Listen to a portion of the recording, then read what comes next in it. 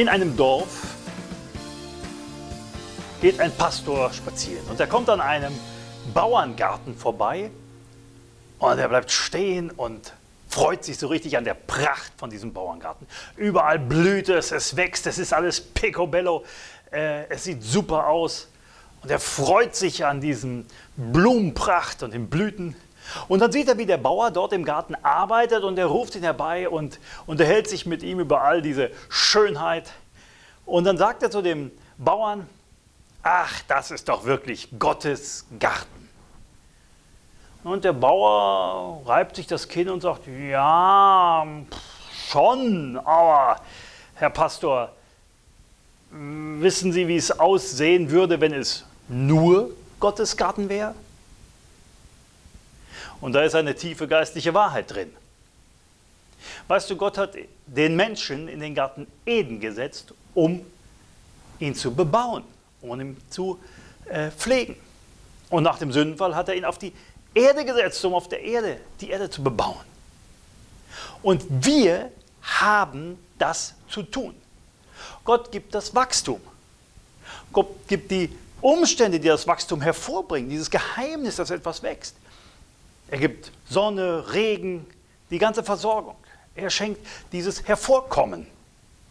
Aber damit ist nicht alles getan. Wir haben auch etwas zu tun. Wir haben das Ganze zu pflegen. Wir haben das Ganze äh, in Ordnung zu halten. Ich sage mal, wir müssen das Unkraut ausreißen. Wir müssen das beschneiden. Wir haben das wirklich in Ordnung zu halten. Das ist Arbeit. Und das betrifft den Garten deines Lebens. Weißt du, Gott bringt Dinge hervor, aber wir sind verantwortlich dafür, dass wir, wie soll ich mal sagen, das Ganze in Ordnung halten, dass wir uns darum kümmern, dass es gut wachsen kann, dass wir das Unkraut rausreißen. Gott reißt nicht das Unkraut für dich heraus in deinem Leben. Das musst du tun. Gott schenkt Wachstum. Er will die Segnung, die er dir gibt, hervorbringen lassen. Er will sich hervorkommen lassen. Aber du kannst dich nicht einfach hinsetzen, sagen, ja, dann lass mal wachsen, lass mal kommen, der Herr wird schon Segen geben, ist alles prima. Nein, dann wird dein Garten nichts anderes als eine undurchdringliche Wildnis sein mit Dornen und Disteln und Unkraut. Du bist verantwortlich, Dinge in Schuss zu halten, damit das, was Gott an Segen, an Schönheit, an Wachstum, an Frucht wirklich gut hervorkommen kann. Und das ist im Grunde genommen die Message von dieser kleinen Geschichte. Wir können uns nicht zurücklehnen und sagen, ja, Gott macht alles. Natürlich schenkt er das Eigentliche.